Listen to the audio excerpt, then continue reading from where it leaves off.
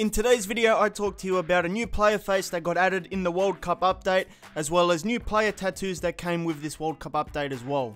So I'm pleased to announce that Ghoddos was added into the FIFA 18 World Cup update now through the latest squad updates. He does have the real face, so you can see it for the first time. And he wasn't in my 44 new faces video because he wasn't in the squad at the time.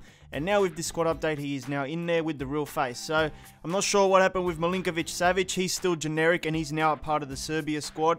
I think we just have to wait for some updates on that sort of stuff. I don't know what EA are doing. There's a lot of issues after this World Cup update came out. There's wrong team names and all that stuff. It's it's a bit weird at the moment. There's a lot of bugs.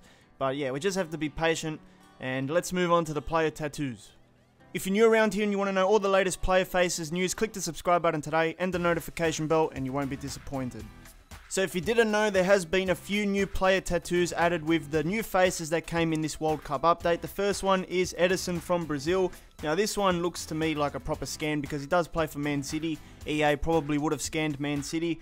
And this is one of the best faces in the update. And it's got the beautiful tattoos as well. The big one on his neck. And he also has another one on the other side of his neck. Well, it's not really his neck, it's more like the back of his ear. And you can see with the real life photo on the left that these tattoos in game do look the same and they did a really good job with these. I really like them. The next player with new tattoos is Belotti from Italy. Now, he just has the one tattoo on the back there, as you can see, it's like a cross, but you can only see sort of half of it because the shirt blocks the other half. I couldn't find a real life image for this guy with the tattoo at the back, it was so hard, so I couldn't throw one in this video to compare, but I'm guessing he does have one, otherwise they wouldn't have put it in.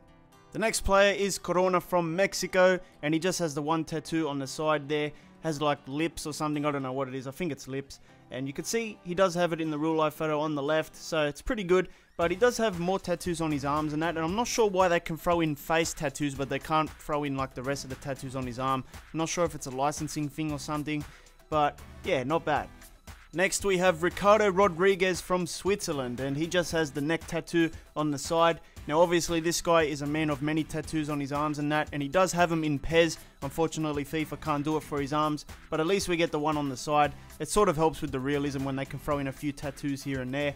So those were all the new tattoos found in the FIFA 18 World Cup update. Leave a comment, I want to know which one was your favourite.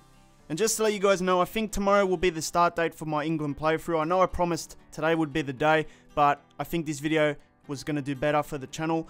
And we'll do it tomorrow. We'll throw in two episodes for the day, and then we'll go from there. If you want to watch another FIFA 18 World Cup video, tap the thumbnail on your screen right now. And if you want to subscribe to the channel, tap the VK icon underneath the thumbnail. Remember, you can support this channel on Patreon as well. And I'll see you next time.